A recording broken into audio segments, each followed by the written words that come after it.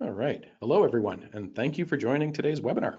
Uh, I'm Andy Shoemaker, the founder of Nimbus DDoS, and today I'll be talking about some of the most common DDoS incident response mistakes and what you can do to avoid them. Uh, now, before we dig into the presentation, I want to mention that there will be a Q&A session uh, at the end of this. So if you have any questions, uh, please post them to the webinar questions section, and we will try to answer them all at the end of the presentation. Uh, also, before I continue, I want to thank Link 11 for organizing this webinar. Uh, in my experience, many DDoS mitigation vendors, they try to sell their products using fear of the unknown. So to me, it's very refreshing to have a vendor like Link 11 that believes in educating people and gives a platform to folks like myself to do that. Uh, and you know, certainly the people at Link 11 can tell you a little bit more about their products and services. And I would encourage you to reach out to them uh, but I do want to mention a couple areas where I think they are being truly innovative in their approach. Uh, the first is in their extensive use of automation. Uh, many mitigation vendors uh, still today are very much driven by manual approaches. And what this translates to is a less effective mitigation with longer downtimes and increased business losses. Uh, so I appreciate that Link 11 is taking a different approach rather than just rehashing the same techniques that have been used by companies before them. The second thing is that they have an AI driven approach. Uh, and I like this because it, it really pushes the bar higher for attackers. Uh, one of the things that I've been talking about for years is the risk of innovative and bespoke layer seven attacks. And I think those are going to increase over time and companies like Link 11 that embrace AI are going to be best able to handle these emerging threats. Okay, so let's uh, let's go ahead and get started.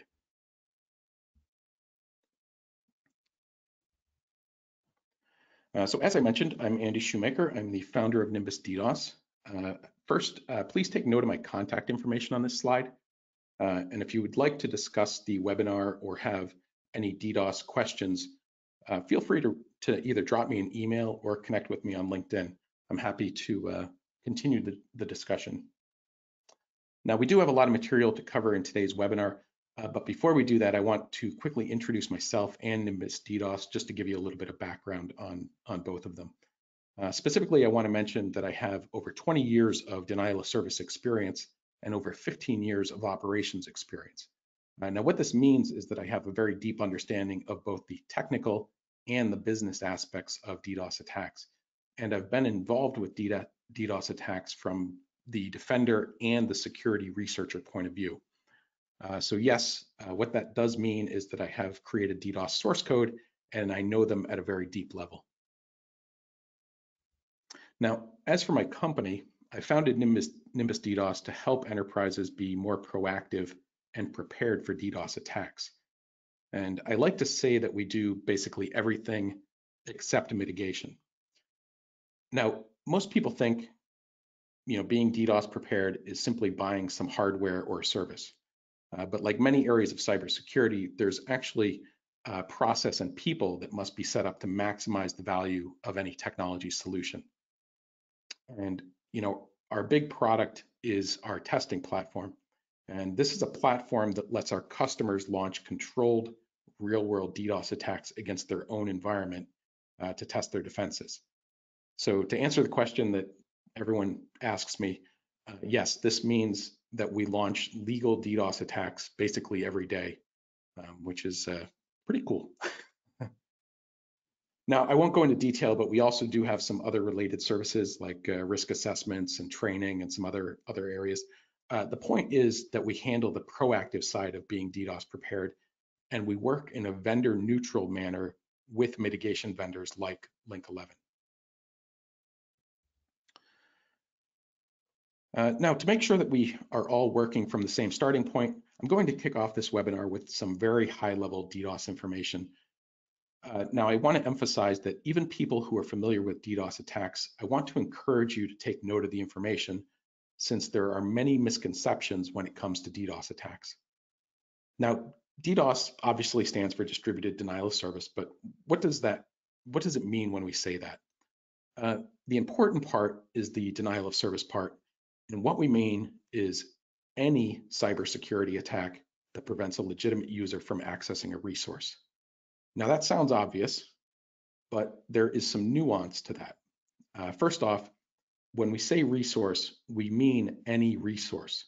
Uh, people often think of a denial of service attack as something that's targeting a website, uh, but a denial of service attack could target an email server, a database, a phone system, or really any other network connected uh, endpoint. Uh, second, people often think of a DDoS attack as a huge amount of traffic that floods the target. Now, this is often the case, but it doesn't need to be. In fact, some of the earliest attacks back in the mid and late 1990s were literally just a handful of packets that would cause the target system to crash. And uh, very small layer 7 attacks, uh, even today, continue to cause significant outages for even uh, very large companies. Now, why do DDoS attacks work? Uh, the simple answer is that they exhaust some finite resource that is critical to application delivery. Uh, just as with our last slide, the answer seems simple, but there is, again, some nuance to this as well. Uh, so on the right side of the slide, you can see a simplified version of a common network stack. You have a router at the edge, then you have a firewall, a load balancer, and some application servers. Now, what a DDoS attack does is it overwhelms some resource in that critical path. So for instance, the attacker doesn't need to take the load balancer offline if they can figure out a way to overwhelm the firewall or the servers or some other component. So literally any component in the path could be uh, a target for an attack. Uh, and I also want to pause right there for a moment to call out another big misconception about uh, DDoS attacks. Now, most people think of the attacks as network exhaustion attacks where you basically fill up the internet circuit and fill the pipe. Uh, now, this is certainly one type of DDoS attack, but again, any resource could be targeted. And I've listed a few here, such as CPU, memory, or storage performance. Uh, and in fact, one of the most common types of attacks that we see tends to overwhelm uh, the CPU resources of firewalls and doesn't actually fill up the internet circuit. So it's uh, it's not it's not uncommon at all. Now, with that technical overview done, let's talk a little bit about the business impacts of DDoS attack. Uh, and it's important to understand the business impacts because this is what dictates the organization's response to an attack. Uh, you can imagine that there might be some small businesses that wouldn't be impacted at all by a DDoS attack. So obviously they aren't going to spend uh, a lot of time or money protecting themselves. You know, for instance, down the street from my house, there's a little sandwich shop that I go to for lunch, they're not going to spend a lot of time and effort on DDoS attacks because the impact to their business would be uh, pretty much nothing. Now, on the other end of the spectrum, you might have a financial services company that has a massive potential impact. So they will spend significantly more time and money defending against a DDoS attack. Now, where your company falls is going to be somewhat subjective, but I've listed some common impacts to consider. So look at this list and first ask yourself, which impacts would you have during an attack? Then ask yourself, how do you quantify that attack? So I think the impact that people are most familiar with is, of course, the direct financial loss of an attack. So for many online businesses, downtime causes a drop in revenue. And this is especially true of e-commerce, online media, and SaaS companies. But there are other more sinister impacts that often go unrecognized. For example, the damage to reputation or the lost productivity of an IT team. These costs are a little bit harder to quantify and they cost the company indirectly. Uh, similarly, there are scenarios where a DDoS attack can help conceal a data theft, which depending on your data, that could be so devastating as to put the company out of business or cause a massive uh, harm to the business. And of course, for those that are in the financial sector or other heavily regulated industries like healthcare, there is of course the indirect cost of regular regulatory scrutiny that comes with uh, DDoS attacks. Uh, so as you can see, the business impacts can be very broad. And one of the first steps to being prepared is to understand the risks within your environment because that's the primary driver that shapes what your defenses should look like. Now, uh, based on that last slide, it seems pretty obvious that even for small businesses, our, our objective is going to be to minimize the business impact uh, of, a, of a DDoS attack. And the most obvious way to do that is to reduce the time during which an attack is impacting the business. Uh, so let's talk a little bit about uh, incident response. Now, on this slide, I've shown what I call the mitigation pathway, which is uh, basically detection followed by mitigation followed by an analysis. Now, this seems, you know, very simple, you know, right? uh, you know, you detect an attack, then you take some defensive action, and once you complete, you look back and you see how you could have done it better. but by now, you probably realize there's actually more to it than that, and there's some nuance that needs to be considered. Uh, first, how does detection work? Uh, did you know that nearly all incident response teams misclassify DDoS attacks as some other network outage? Uh, so they do. And the reason I know this is because when Nimbus DDoS uh, tests a company's defenses, uh, you know, we do surprise attacks. Uh, we routinely see NOC personnel rebooting routers and firewalls uh, because they think that the device has crashed or has a software bug. And I'll show you some timing information on this in some of the following slides, but it's a, it's a very interesting behavior and not uncommon at all. Uh, the second item, mitigation, uh, also seems pretty simple and straightforward. Uh, but again, it's not as simple as it seems. Uh, so mitigation hardware and services vendors are all very different. Some are operating in an always on manner, while others might require activation. Uh, some solutions may be heavily automated, while others rely on manual processes all of these significantly impact how long an attack impacts a business. And in the upcoming slides, again, I'll give some hard numbers uh, talking about those specific areas. Now, in that previous slide, I said that detection can be challenging. And I'm sure there are people wondering, you know, how can that possibly be? Uh, since a DDoS attack should be obvious just from looking at network traffic. Uh, but again, this goes back to something I mentioned earlier, uh, how there is this misconception that denial of service attacks are always involving a large volume of traffic. So look at the two graphs on this slide. In the graph on the left, you have a one gigabit circuit, and we see that there's a sudden jump in bandwidth utilization at around uh, 2213. So you can see that the internet circuit is saturated and it's very likely due to a denial of service attack. But what about the graph on the right? So here we see outbound traffic dropping at 248, while inbound traffic basically remains about the same. Now, this doesn't immediately suggest a DDoS attack to, to most people, and this is where the misdiagnosis occurs. Uh, the graph on the right is in fact a denial of service attack. It's actually a low volume SYN flood that overwhelmed the environment's firewall and caused the firewall to collapse.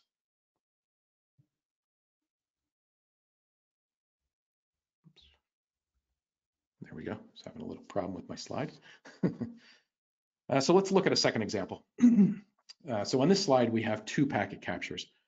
Uh, on the left side, the packet capture shows a large number of UDP packets with a very large packet size of 1400 bytes. Uh, that's what that last number is at the end. and those are all being destined to the NTP port. Uh, a few things jump out that suggest an obvious denial of service attack. First, the packet size is fixed, and it's also very large, which is exceptionally unusual for real NTP traffic. Second, the packet capture couldn't decode the data in the packet, and you can see that it simply says uh, unspecified rather than showing a real NTP query or an NTP response. But what about the packet capture on the right? You know, in this packet capture, we see a lot of DNS queries being sent to the DNS port. The size of the, the sizes of the packets are variable and they seem legitimate. And the packets contain real DNS requests. Now, of course, you know, following what my previous slide, this is also a, a DDoS attack as well.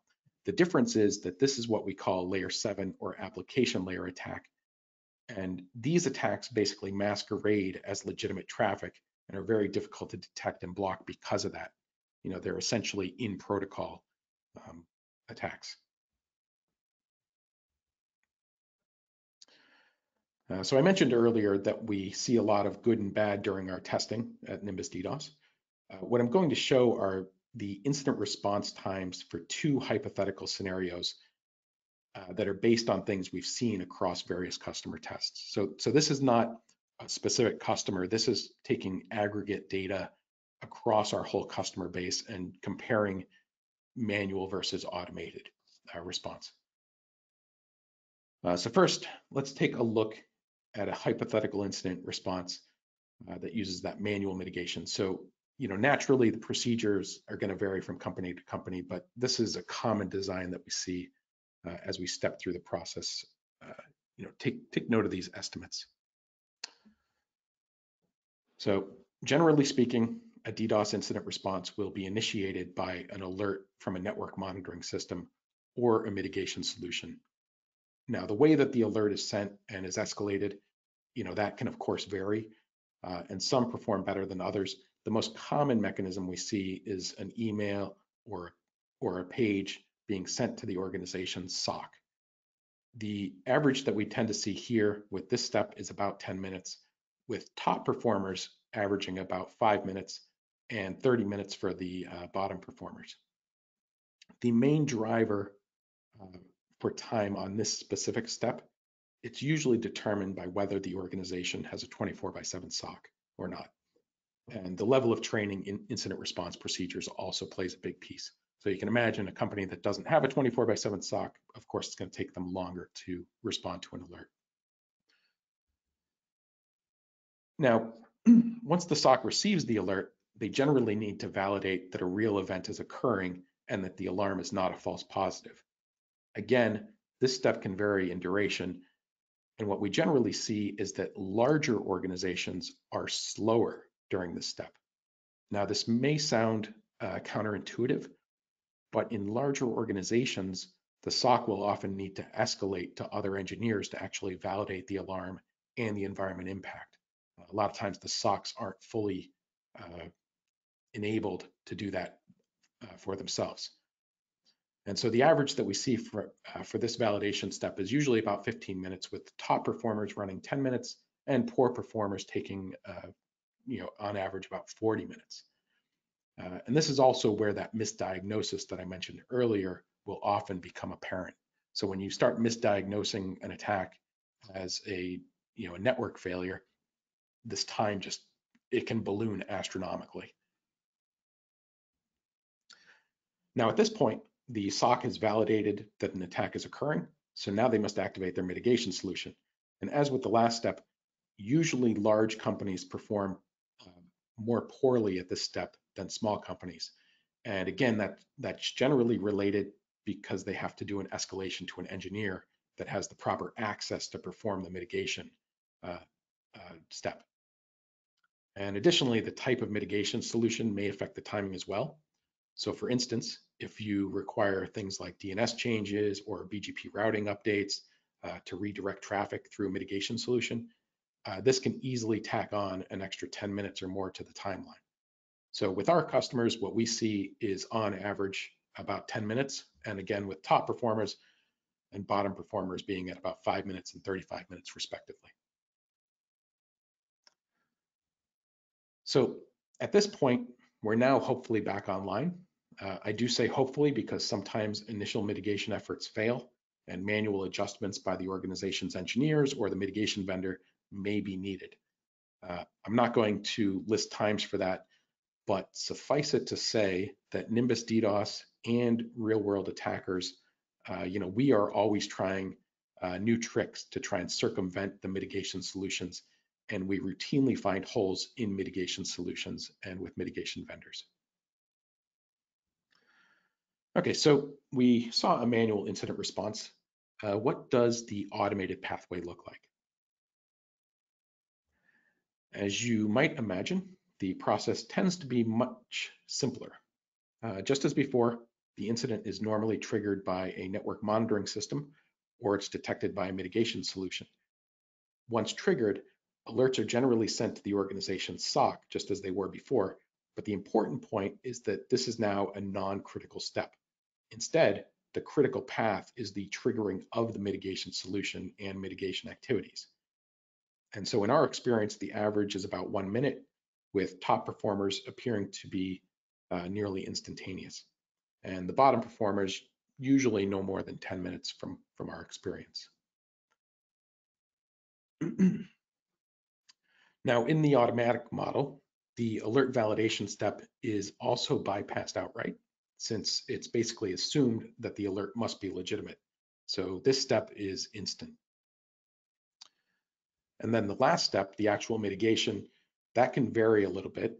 Uh, again, this is primarily driven by the type of mitigation solution that's being employed. So if the solution still requires uh, DNS or BGP changes, this is still going to eat up five minutes or, or so of, of the time.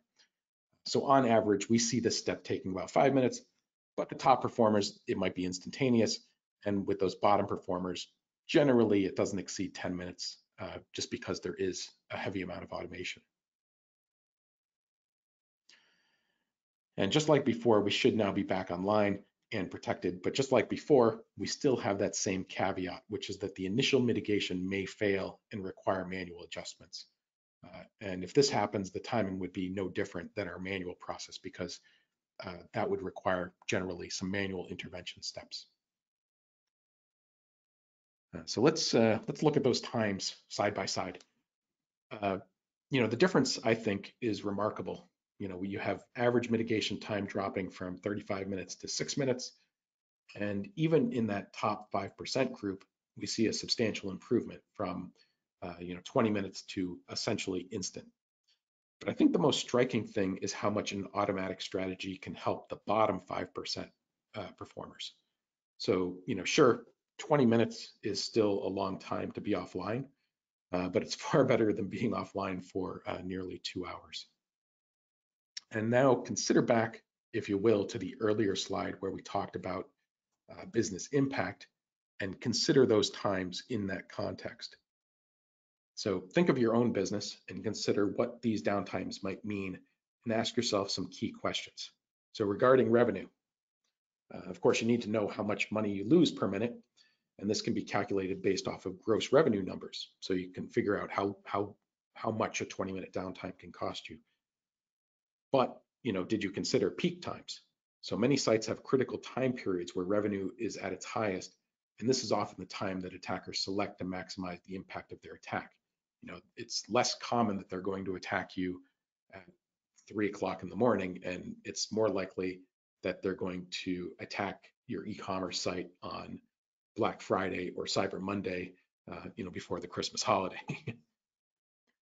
and then, you know, what about reputation damage? Uh, the key question there is what happens when a customer can't reach your site? You know, do they go to a competitor?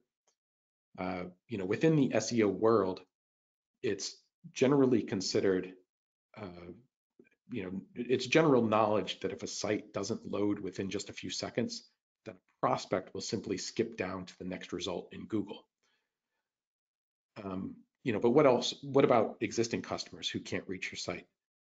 Most businesses have an approximation of the acquisition cost for a new customer.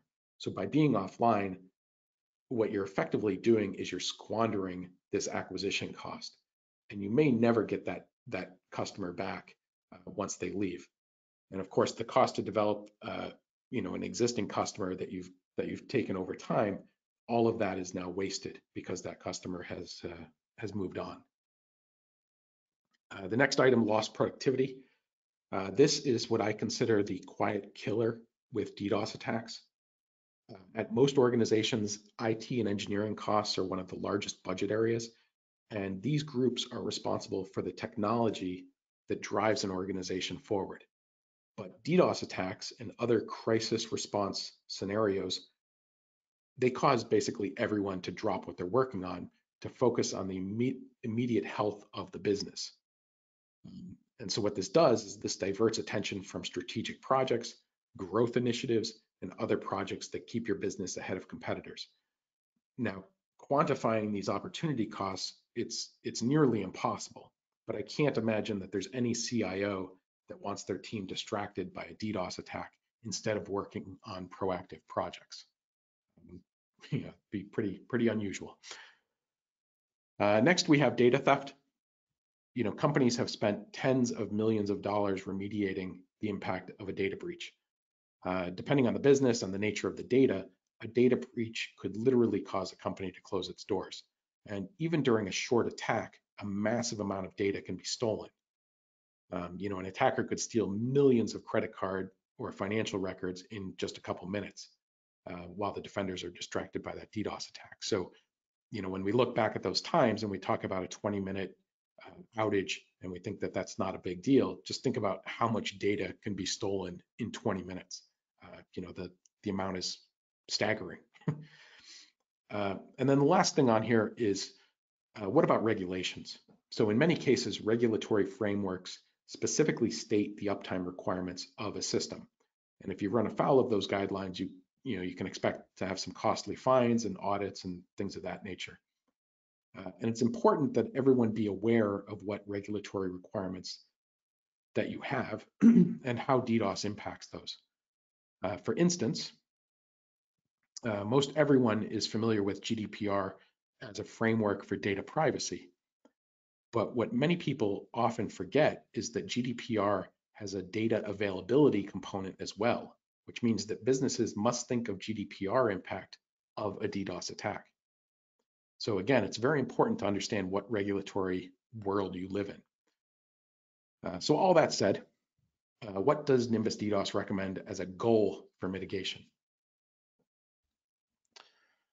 Uh, the goal, of course, should be instant. Uh, now, it may take some time and there may be technical challenges that make this difficult, but every organization should target an instant response and mitigation. Um, and you saw some of the reasons on that previous slide, but you should try, but, but really you should try for instant response for two main reasons. Uh, you know, one, the cost of an outage is immense and sometimes to the point that it might cause a business to fail. And then two, the ability to achieve an instant response is not so costly or challenging that it can't be achieved. There are vendors and technology that make this a reasonable goal. So if we go back to our numbers that we talked about before, that top 5% that's already achieving instant response, they aren't necessarily doing anything uh, different than the bottom 5%.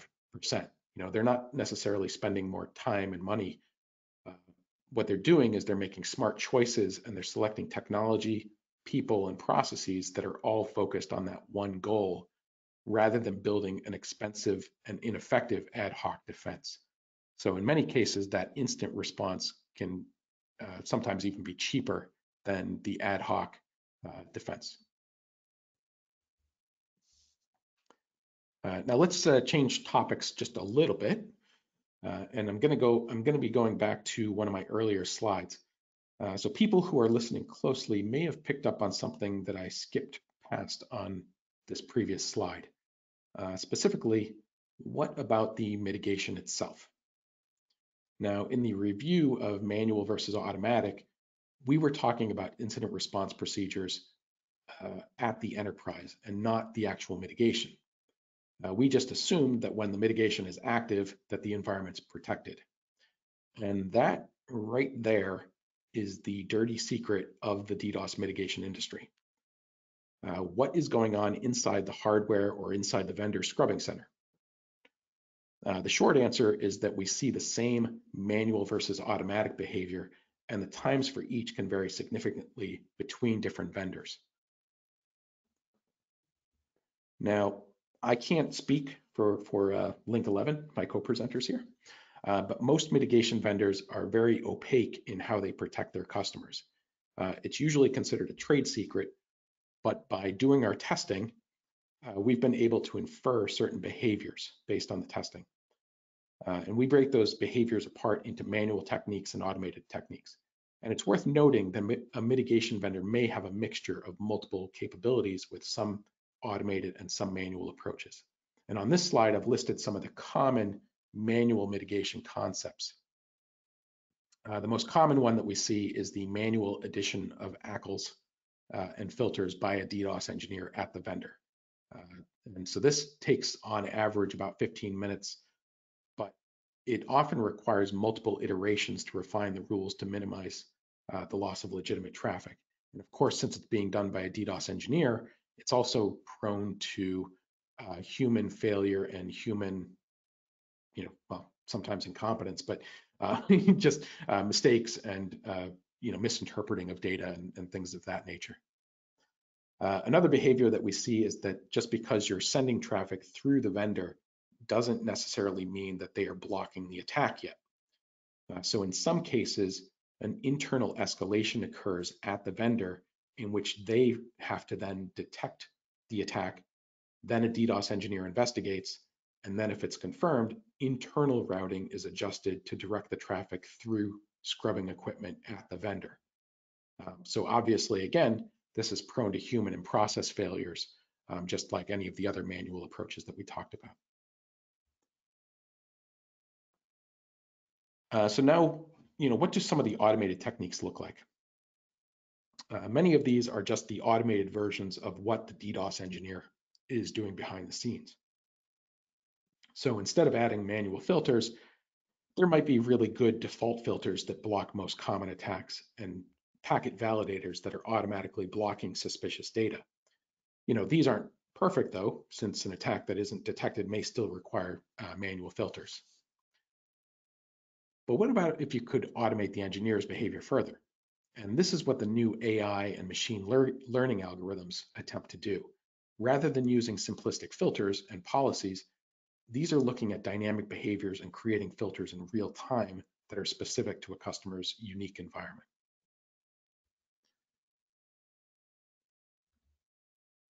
So what is the takeaway from this webinar?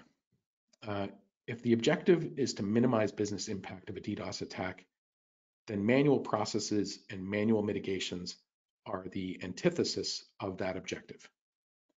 And a few key areas are one, if possible, use always on routing to avoid BGP conversion times. Um, you know, just by having uh, BGP updates, you're automatically adding in a significant amount of time to your to your response. Uh, two, embrace process automation. Uh, automation generally reduces errors and it's much faster than an engineer.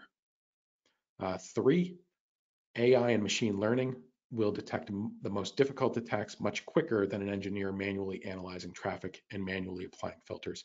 And four, you want to start with great default protection policies to block the obvious attacks. Um, you know, the, the really common and obvious attacks, they shouldn't be causing outages for anyone, but uh, you know, every day when we do our testing, we encounter uh, uh, challenges where just a run-of-the-mill UDP flood doesn't get detected properly. And so now uh, we're going to go and take some uh, questions from the audience. And to help me with those, uh, I have uh, Edward from Link 11 joining me.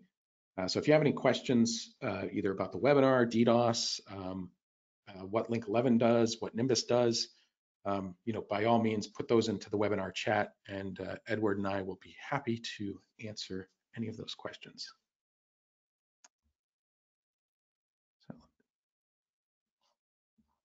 All right, let's see here. We got a few questions here popping in. Uh, let me just read this one. All right, so oh, this is a very timely question. so uh, do you see a change in the amount of DDoS attacks in the current COVID-19 crisis? Uh, so actually, that's that's probably a better one for uh, Edward to answer since uh, uh, he's he's on the front lines, whereas I'm doing the more proactive stuff. Uh, yeah, thank you, Andy. Um, thanks for this really good overview in terms of an understanding in terms of what real DDoS mitigation and DDoS attacks are currently are in the market. Um, so just to quickly to answer that one, so the answer is yes um, we see that a lot of cyber criminals are now um, absolutely taking the uh, the situation which we are in right now, unfortunately, uh, as a uh, one where um, they will go after the the organization which are still up and running and are really dependent on online um, um, presence, like online retail, uh, online gambling and uh, online gaming. That's one. Secondly, and I, I, think it's really uh, like sad to hear, is that um, also our um, uh, healthcare and local government and all the I would say, police and fire brigades and all these sites and infrastructure also under attack. Um, and um, it's really incredible that uh, cyber criminals are doing it, but that we see massive uptake right now there. Um, and uh, thus, in this case, uh, Link 11 also has um, a situation where we have said, okay, let's have a look at this. We see this uptake, and we also see that these type of um, organizations have a, a big issue uh, with uh, actually uh, already performing um, uh, the first hand of curing this disease. So we said, okay, let's make sure that we protect those guys. And uh, currently, we are in a process that we have a free of charge DDoS mitigation tool out there specifically for those healthcare organizations, local governments, etc. So um, that's basically what we've done because of the uptake in terms of uh, the amount of DDoS attacks which we see in the market and some other stuff which we're doing now, especially because um, we want to make sure that the economy keeps on moving, but specifically that uh, the people which are trying to uh, save lives uh, have uh, full attention to that bit and not being distracted with anything, uh, stuff not working, etc., etc. So uh, the answer is, uh, uh, in short, yes, we see it a massive uptake, and and yes, also we as Link 11 are trying to do something about it. Great, thank you. And yeah, that's that's fantastic that you guys have something for those people in the healthcare space. I mean, that's it's important for all of us right right now. Uh, so the next question, actually, it's a little bit similar, um, and, and it reminds me actually of an important point that I wanted to make. Um, so the question was, how do you envisage the current crisis and working from home policies will impact DDoS mitigation efforts? So it's it's sort of the same, but a little bit different. And this one I'd actually like to answer. Um, so when we do our uh, risk assessments for our customers, um, you know, one of the things that we do is we try to uh, prioritize the criticality of certain target systems that might be uh, attacked by an attacker. So you can imagine that, you know, e-commerce systems and uh, you know th those sort of things tend to be the business critical applications. Now, what's interesting about the current situation where there's a lot more uh, work at home uh, people is that systems that historically weren't considered business critical are now being considered business critical. So, uh, you know, historically, remote access devices like VPN uh, concentrators and things of that nature, they were generally important to a business, but they weren't uh, given the same emphasis as, say, a production website or, uh, you know, a, a, shopping cart on an e-commerce site or something like that. Um, but now, because you have this uh, massive workforce that's working remotely, uh, those those systems that historically weren't as critical are now becoming much more critical. And of course, those sometimes are not as heavily protected at some uh, organizations as they as some of the other areas of the business. Um, so I don't know if you have anything to uh, uh, comment on on that, Edward. I think uh, it, it, might be a, a, little bit outside your area, but uh, do you have any any items that you'd like to mention on that? No, no, I think you just covered it yourself. So yeah, okay. not, nothing bad there. Sorry. Yep, cool. Uh, let's see, what other questions do we have here? Uh, uh, this is a good this is a good one. I like this one. Um, what are the most critical KPIs when evaluating uh, different technologies? So um, I'll, I'll answer this, but I, would imagine Edward, you probably have some stuff to uh, comment on this as well. Uh, so from my perspective, the the big one is uh, the time to mitigate. Uh, now, when you when you talk to different mitigation vendors, uh, one of the things that you'll see is that they'll have, uh, you know, in their contracts, they'll have certain uh, certain SLAs for uh, how long it takes to get an, a DDoS engineer on the phone and some other things of that nature. Um, but what many vendors don't have is any commitment to the time to mitigate. And frankly, that's the most important uh, metric that you can measure because as we talked about in this in this slide deck, every minute that you're down is uh, the risk of data theft, the risk of you know revenue loss, the risk of damage to reputation. So you know uh, having some sort of uh, measurement of that time to mitigate and some sort of commitment from the vendor, in my opinion, that's uh, pretty much the most important thing that you can do. Uh, Edward, anything? So uh, yeah, thank you, Andy. Um, um, I, to be frank here, my my answer will be biased, right? But what we've seen, indeed, and I can only uh, uh, uh, add some more color to your answer because I think you're totally right there, is that uh, there is right now, as we are moving and into a 24 by 7 economy, downtime is not done, right? Uh, whenever, just imagine yourself going to a, uh, online store and you want to uh, um, uh, try to buy something specifically now, right? And it will take like more than 10 seconds or maybe longer than that to load or even doesn't load, you move on and go somewhere else. So time to mitigate is really, really, really key. Um, hence, we at Link 11 have uh, put something forward, is which we will have in our SLA, which states that we will guarantee 10 seconds time to mitigate, and uh, that's uh, according to some um, uh, uh, the likes of Gartner and, and, Forrester, they say it's the fastest which is out there in the market, and we will put in paper, right? That's one thing. Secondly, is is you 100% correct there, Andy? Is a, a AI slash machine learning is really key. Um, um, having human beings uh, fighting against uh, uh, machines because that's what they are now using, the cyber criminals, is a, a lost battle. And uh, hence, if you're looking for something, make sure you have a totally AI machine learning based solution. Uh, um, and again, of course, that's what Link 11 is, but uh, um, that's why I'm saying it, of course. But next to that is, is uh, don't be confused by uh, organizations telling you that they have an AI-based or machine learning-based solution, um, and then you ask them, "What so? What's your time to mitigate? And can you actually um, um, put a, an SLA in, on, on, it?" And the SLA in in I'm not sure what our, our other competitors do, but they will mostly be best effort. And, and that's really key that you have a look at those things.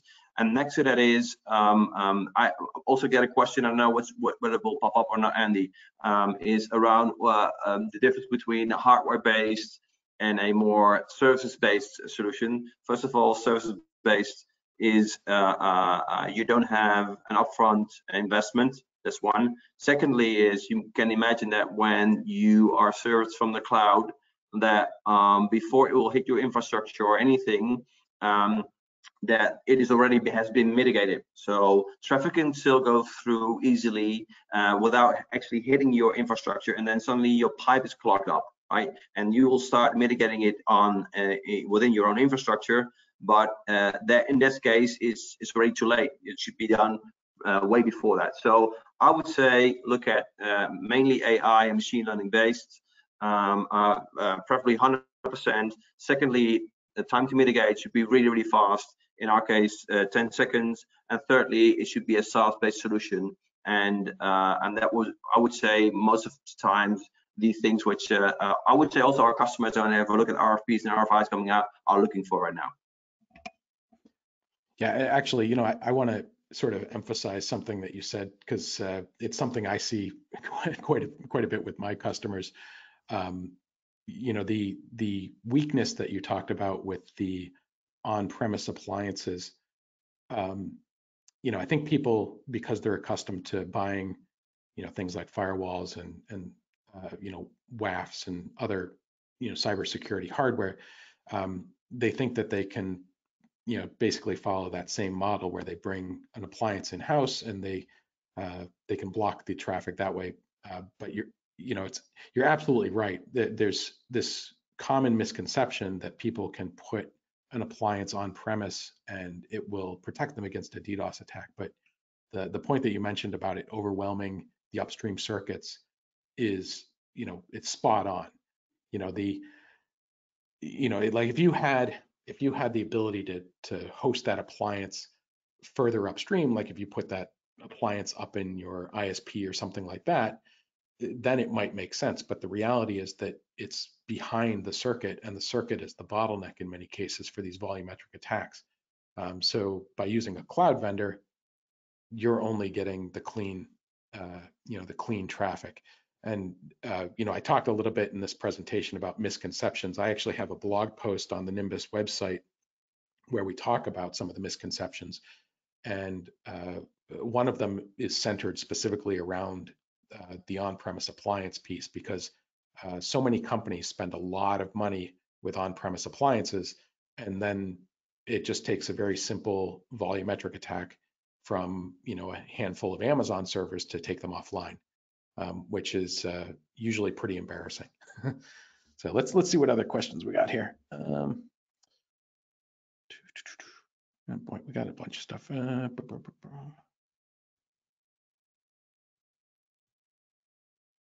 Uh, let's see, some of these are very similar. Uh, so I think we already answered some of these. So give me a second. Uh, uh, well, this is this is one that uh, well, this is definitely for you, Edward. uh, so the question is, how quickly is the technology ready to use? I assume they're talking about uh, mitigation technology. So I'll let you uh, answer that one. Yeah. Some of these other so, questions. So yeah, okay, thank you. Um, so I would say that, that, could be seen as twofold. One is is used in a sense of um, how fast indeed can we mitigate. Again, there's 10 seconds. Um, uh, within 10 seconds, uh, having a, a full clean pipe towards uh, our customers. That's one. The other way of seeing that question is uh, how fast can we be onboarded? Uh, can we onboard a customer? Um, so we, we currently in, in the current environment, we see a lot of uh, prospects as customers, uh, which uh, have an instance in terms of a web instance not protected by us, and and they are under attack. They give us a call, and we can onboard any customers within a couple of hours. That could be on on the web part, but also uh, within the um, uh, infrastructure part. Um, the latter one, however, uh, uh, we can onboard really fast, right? That just that's really easy for us to do. Um, is has to do with, of course, that the all the internet routers need to be uh, announcing uh, via us, and that might take a while. But uh, if you talk about any web presence in the sense of applications, then uh, Link 11 will can onboard. we even had an, a customer onboarded within one hour and protected immediately right? Um, so yeah, um, but if it's a normal onboarding, then uh, it will take a little bit longer than that. But if uh, push comes to shove, we can do really, really, really fast. All right, fantastic. Um, so I uh, we got another question here. Uh, the person is asking, uh, I guess they're in the cloud, and they uh, have a question about how do they protect their APIs? And I actually want to start answering this, but then I'm going to hand it over to you, Edward, because I think there's, you know, there's probably, you know, some information that you can provide from Link 11's perspective. But um, I, I want to actually explain to people what the problem is with protecting APIs and why this person's probably asking how they protect their APIs. So uh, when it comes to protecting websites, um, there are many uh, mitigation vendors out there that operate um, you know different uh, different types of automated protection. And uh, one of the most common protections for protecting a website against a layer 7 attack is they will use things like uh, javascript challenges uh, captchas um, things of that nature to basically determine whether or not uh, uh, well browser fingerprinting that's another one uh, so they'll use those techniques to figure out whether or not an attacker is a legitimate client or a bot, basically.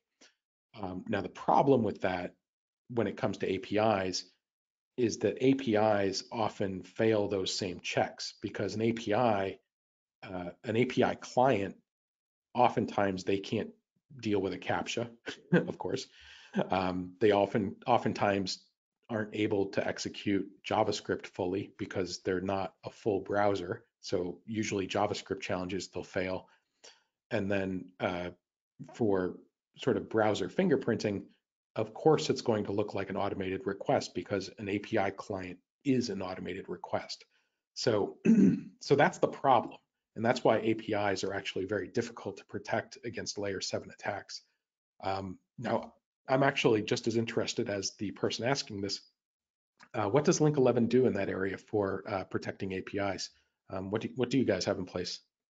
Yes, so so we have uh, an API protection module, um, um, and uh, indeed what you just said, right? So it's uh, the connection between two applications and what goes through there is really important that we see that the the the um, uh, the uh, uh, behavior there is is is normal behavior. So anything when when we have our API protection um, turned on is anything which is like uh, um, suspicious behavior or something like that, which is out of the normal, uh, we can detect really quickly, of course, with our AI machine learning, and we can mitigate those. So, so definitely yes, the API connections can be protected there. Next to that, maybe in, in the form of the question is uh, online presence. I heard, hey, uh, we have an online presence. Um, um, mostly has to do with um, the fact that uh, sometimes people have a solution which will protect their infrastructure. Uh, sometimes they have another solution which will protect their um, uh, online uh, presence in the sense of an application. Um, a third bit right now, of course, and I don't know whether that's meant with this question as well, is for instance going to AWS or Azure or what have you. Um, so all of the above, um, those are really easy to be protected by Link 11 uh, because as we are a SaaS-based solution, we can really easily connect to anything there, and you don't need like 15 different uh, types of uh, of uh, uh, DDoS protection. And just with one solution in the cloud, uh, you can protect yourself there. So including, of course, is the API protection. Yes. Okay. Um, and actually, you know, this is a great segue into another question that somebody had, um, which I'll, I'll take a first stab at, and, and you might have some additional follow-up uh, comments on. Um, but you're, you're you were mentioning, uh, you know, people moving to the cloud and so forth. Uh, so this person asked about the pros and cons of using DDoS protection services that are being uh, provided by the cloud vendor themselves. So, for instance, uh, Amazon uh, in AWS they have their uh, their DDoS protection solution, and also uh, Azure has similar. Um, so what I would talk about here is that in many cases, this is especially true of Amazon, which I, I have I have firsthand experience using them as a customer, and I actually I love Amazon. I, I you know at Nimbus DDoS we use them quite a bit. Um, but one of the interesting things is that you know, Amazon for many of their service offerings, they assume that you are really well versed in whatever that technology is. So in the case of Amazon's DDoS protection, in many cases they kind of give you the tools to protect your environment, but of course, unless you're an expert at DDoS attacks, you're not going to know what to do with those tools. You know, it would be like, um, you know, if I uh, well, if I was a carpenter and I handed some some tool to a baby and you know they're not going to know how to use a saw you know? um, so uh, you know it's it's one of those things where uh, it helps to have the expertise behind the scenes that helps drive the mitigation to success um, whereas just giving people tools to add in filters and uh, block things it, it's not really very productive and frankly you end up spending a lot of time uh, trying to come up with a solution. And then when push comes to shove and you actually get attacked, a lot of times it ends up falling on its uh, falling on its face. Uh, so I don't know if you have anything to add on that, Edward, or not, but uh, floor is yours. Yeah, yeah, thanks. So, so uh, firstly, I want to add some some something more to the, your your answer is is um, um, um, I don't know whether anyone sees uh, Amazon and or Microsoft as being a security player. That's one, right? So um, um, they are really good at a lot of stuff. Uh, security is is another topic. That's one. Secondly, is is uh, we see a lot of uh, companies now moving into AWS, Azure, etc., but also combination of all. Uh, and as just answered in, in the former question is uh, you can have AWS and then have a DDoS mitigation tool there, and you can have uh, Azure and a DDoS mitigation there, and you have then another one where you do the infrastructure. So um, um, it's a choice um, um whether you want to have your SOC or your security team handle all those. It's also a question which you might ask yourself, and also the cost involved, right? Because you're paying three times for uh, a tool which protect you all. So that would be my answer here. Thank you. Uh, so I think our last question here, um, th this is actually kind of an interesting question. Um, so it says some types of businesses are local or hyper-local. Example, a newspaper uh, in a local language. Uh, can the discrimination of the original autonomous system outside the country of origin be a way to mitigate uh, uh, mitigate the attack and keep the service active locally?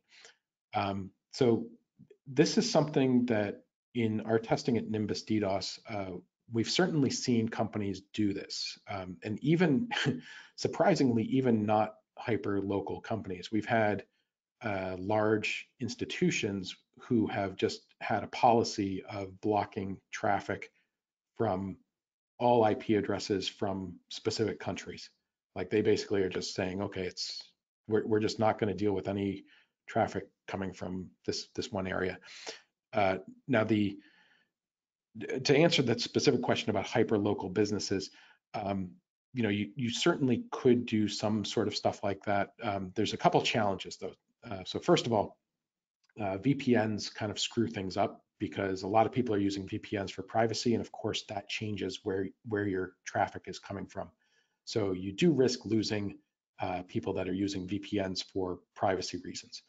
Uh, the second thing is that uh, well, autonomous systems, which is what the person specifically asked about, those are not necessarily geographic specific in the first place. Uh, so for instance, uh, AS701, that's the old UUNet, now it's Verizon, but it's a global AS where IP addresses in that AS number could be in uh, Japan, you know, it, they could be anywhere.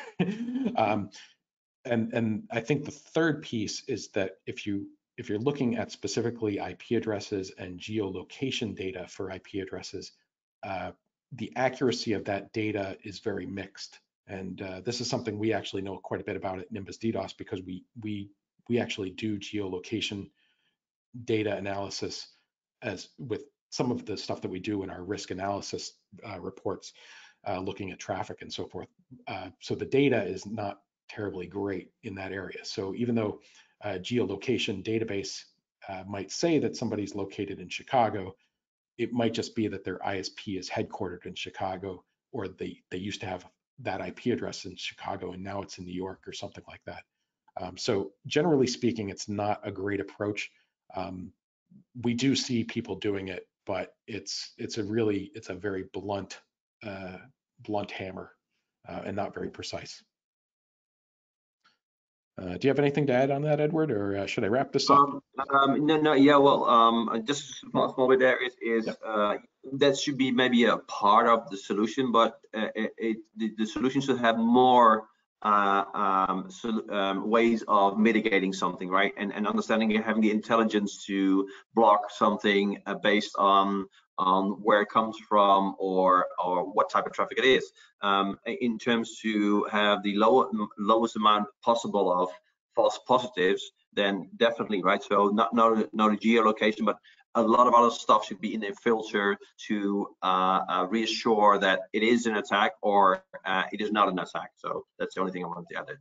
thank you yeah, no, that's that's a very good point. I mean, uh, none of these solutions are built on just one technology. You know, it's uh, it's a whole battery of things working together.